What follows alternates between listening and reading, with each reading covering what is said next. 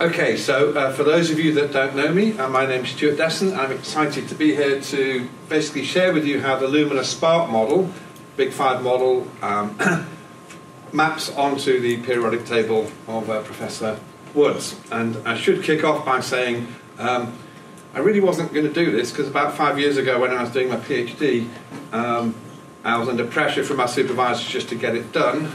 And I went to see Professor Woods, and he said, No, if you want to be contemporary, you need to map to the periodic table. So I went back and told him I was going to do this, and he said, You mustn't do that. So I did it anyway, and uh, that's why I'm here presenting it today. Um, so uh, thank you for encouraging me to do that. Um, so I'm going to talk a little bit about the Lumina Spark model. There's um, 40 qualities in the model. You can see two mandalas over there on the left. I'll talk a little bit about evaluative bias uh, and explain what that means, and then I'm going to map it to the periodic table. So this is the model we're looking at mapping onto the periodic table. It's the Big Five. It's a hierarchical personality model. So here's what you'd normally expect openness, conscientiousness, extroversion, agreeableness. Then we have a separate mandala for emotional stability.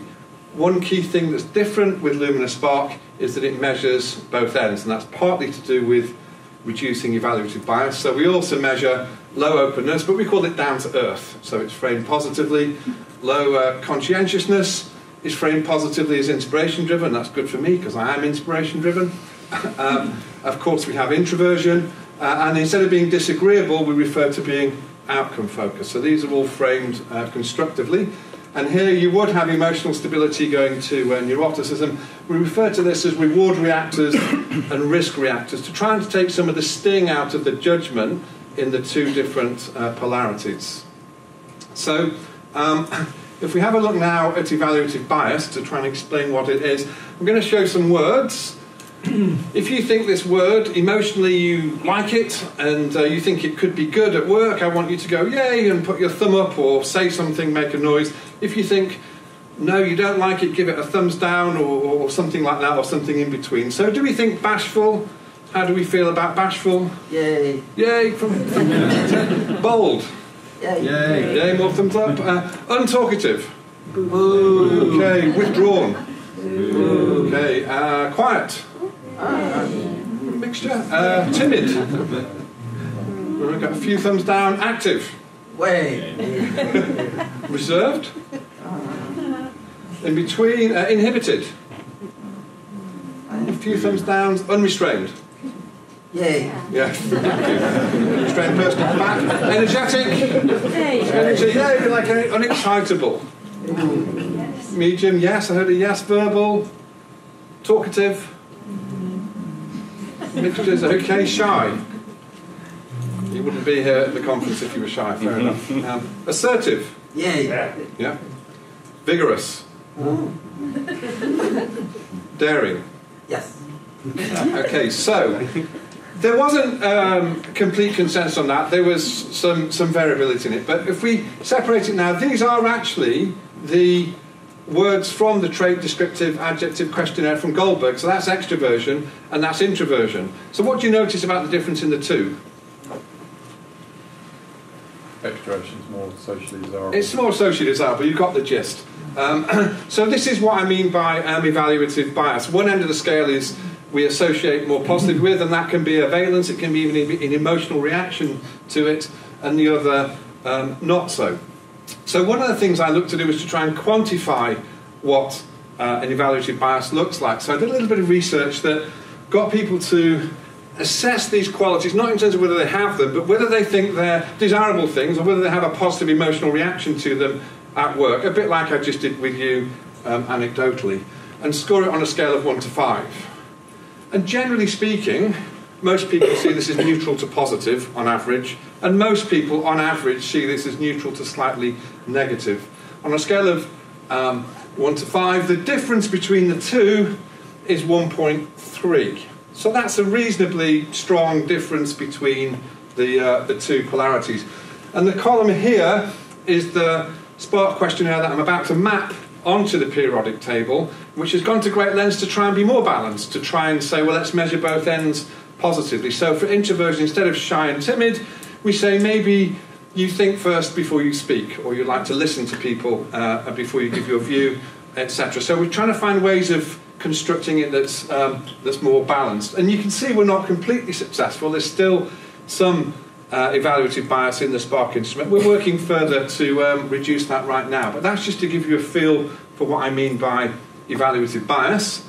Um, it's not just me, so Peterson and others said uh, when you have um, an evaluatively unbalanced set of descriptors, such as Goldberg's adjectives, and you do a rotation algorithm, factor analysis, you inevitably get positive versus negative uh, descriptors. So other people are reporting on, on this um, as well. Um, and it really means that you're valuing certain traits more than others. Um, it also, well, this was researched by Peabody in 1967, so the approach I've taken in Spark follows this approach of measuring both ends positively and, uh, and negatively, but it's largely ignored in psychometrics in terms of psychometric design. It is obviously well understood, uh, but it's not always used in terms of choosing items and choosing uh, scales. Um, and it can affect the, the valence in the wording from opposite extremes, which you've just done with sort of introvert, extrovert. And sometimes we don't even measure um, certain traits, and we don't like, so for example, being confident in terms of uh, emotional stability, we often don't measure that in terms of being too overconfident. Yeah, so it's often missing from certain models. So this is what it looks like. Typically, we measure introversion with like I make friends easily, and sometimes I listen too much, I don't give my view. If we want to apply that Peabody approach, we sort of basically split it into four. We measure both ends adaptively and maladaptively. And the gist of it is that's essentially what we're doing in this approach with these um, 40 qualities across these two mandalas. So, just a few more words on evaluative bias, and one of them is to say when we measure it maladaptively, you know, outcome focused disagreeableness becomes winning at all costs, and the other end, agreeableness becomes people pleasing up, uh, up the top here. And we can be emotionally stable and resilient, but we could ignore stress and become overconfident and over optimistic. You get the idea. So, one reason for wanting to take some of this bias out is it can um, help uh, when people are pressured to respond in a socially desirable way. So, here's just a piece of data which is raw scores against these qualities for an applicant sample with a high stakes, people want the job, versus uh, no, no high stakes. And you can see by reducing the evaluative bias, we've, we've got them pretty close, but still in a, in a job situation, people don't want to admit that they're spontaneous and break the rules, uh, but they do want to say that they're a bit more reliable and organised than they otherwise uh, might be. That's the gist of, um, of the data. And evaluative bias, interestingly, well, Ashton of HEXACO fame and Backstrom, they suggest that the, the, the general factor of personality that, that Rainer mentioned earlier um, is a bit of a mirage caused by social desirability uh, and so on. So Ashton has done a paper that says um, if you get high stakes people and not so high stakes, do a factor analysis, you get the general factor with the high stakes, but it evaporates with the um, other one. And Backstrom suggests um, if you neutralise your questionnaire and take some of these evaluative biases out, uh, again, that the general factor will, will disappear. So uh, I'm sort of a bit more in their camp uh, than the, the camp that's pushing the general factor as, as the best thing, um, the best new thing. So you can see the differences here are not too significant. Um, I've probably highlighted the main ones. So let me uh, move on now to the periodic table. So you can see here we've got five across the top, which is the big five, and then split into ten at both ends on the, on the vertical. In the analysis I'm going to share, I break it into a 10 by 10 because you've got the idea with Spark we're measuring both ends. So this goes from a 5 by 10 to a a 10 by 10. Um, 671 people here, reasonable split gender wise, generally professional uh, backgrounds, so it wasn't a student population. And the Spark uh, questionnaire was 240 items with Goldberg's 100 uh, trait descriptive adjectives, of which you looked at uh, 20 of them earlier. We did hypothesize that the 40 qualities would load primary or secondarily onto the factor we expect uh, with the TDA. Um, and even in the maladaptive, uh, adaptive and maladaptive forms, we were sort of hoping, thank you, that that would be the case. And here's the results. So there's 40 qualities here, um, replicating the, the format that the previous speakers showed. You've got the primary and the secondary loading with the ratio and the vector. And of the 40, we found that um, 38 of them uh, were loading as we would expect, but we found a couple of deviants. One confidence, and another one up here, evidence-based. So I'm going to explain those, or, or possibly explain those in a, in a moment, because we did in the research find that other people, when they've tried to measure low openness, and so evidence-based is an attempt at low openness, like just pause, give me the facts, let me check the details. Um, in the literature, it seemed that that was like low openness, but actually, when it's measured behaviorally, behaviorally in a positive way, it starts to correlate with conscientiousness. That's what some other researchers have found, and that's what we're finding here. And with uh, confident, we're expecting it to be like emotional stability, uh, a reward reactor, uh, but we were wondering whether by making it overconfident, like I know everything's going to go well and it can always work, are, are we building in some neuroticism? Could some of that be um, affecting the loading? So that was something that we wanted to look at. And this is the result of the, the 40 qualities being mapped um, onto the periodic table, which is a 10 by 10 rather than the normal uh, 5 by 10. And you can see some of the interesting things, such as, uh, you know, here you've got uh, agreeableness, but agreeableness with um, neuroticism is empathy, agreeableness, uh, disagreeableness with neuroticism is being independent and sort of I know I'm right. So you're getting some extra nuance by putting the extra columns in. This is going completely uh, to the full extent, and we're taking the ones that say EU here, these ones are adaptive measures. We call this everyday and underlying. And the ones with an O are overextended, or you could call it maladaptive. So we can see here, you know, this is the risk reactor, what would be called neuroticism. Generally, it is going on um, low emotional stability uh, with, a, with a switch here.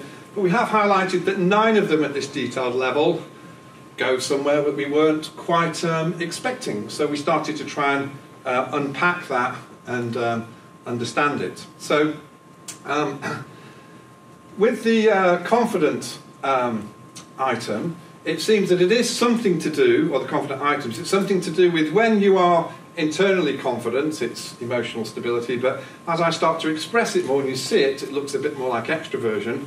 And as I overdo it, it looks even more like um, extroversion and starts to pick up uh, or increase the loading on, uh, on neuroticism. So there's some interesting things going on when we switch from adaptive measures to maladaptive measures, uh, which require quite a bit more um, unpacking. So generally speaking, if I just go back here, when you make something maladaptive or overextended, you know, on average, there's an extra 0.17 loading goes on to neuroticism as you move in that direction. That's sort of across the board. And actually, there's a bit more disagreeableness creeps in when you move to maladaptive across the board. So there's some interesting things going on between adaptive and maladaptive. So, um, if I now go to uh, this is um, uh, Professor Woods' labelling of the, uh, uh, the facets in the periodic table with all the different blends. And if we load in on top of that the additional 40 uh, that we've covered here, some of them are entirely consistent with what was found before. And you can see leadership boldness there, expressing your emotions, taking charge, and so on. And some of them are new, like focusing feelings in conscientiousness with a little bit of neuroticism coming in uh, to, to get things um, done. So, in conclusion, um, you can see here we've made a, a, really good effort to reduce evaluative bias in the Big Five by measuring both ends adaptively and maladaptively. And this helps us with our construct um, validity, gives us more fidelity, and it gives us a really nice comprehensive mapping onto uh, Professor Woods' uh, table. There is further re research to do here on the effect of valence on where things are located in the periodic table, how you know, how's my emotional response to questions impact how I answer it and where it turns up in that table. And actually, I, I need to say this is influencing our, our next version of Spark that's coming out. So we've been going for 10 years, we're revising some of the items, and this uh, analysis is incredibly helpful to us, to us um, adjusting and nuancing some of the items so that they do measure exactly what we want them to, uh, to measure as part of that process. So really that's what I wanted to um, say. Are there any questions?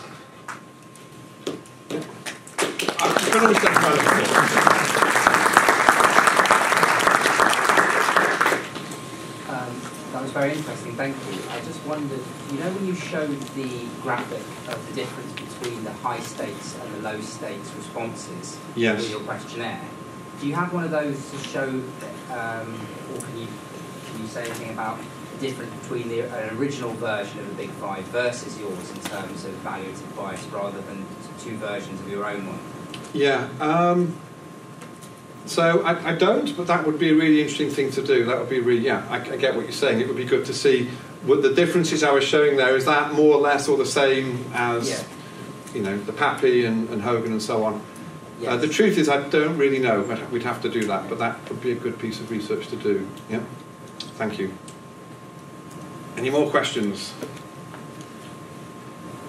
Yep. Are- Are you, are you kind of questioning the use of the TDA for creating the periodic table in the first place?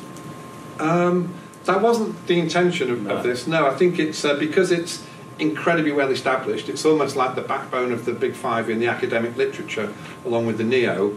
I think it, it is a good one to benchmark all other instruments by. However, I am highlighting that it does have evaluative bias in it, um, which is completely because it's been it's been constructed using factor analysis and it's extremely sort of inductive in that regard with correlations and as Peterson showed that will tend to separate out and create an evaluative bias due to that method whereas the Lumina Spark method uh, is bringing in a much more deductive approach with a bit of criterion centric to, to try and balance it so I'm not questioning it no but I am saying you need to take that into account when you look at it yeah but another great question. I think we're going to have a panel at the front, or No, is it? Steve can do it.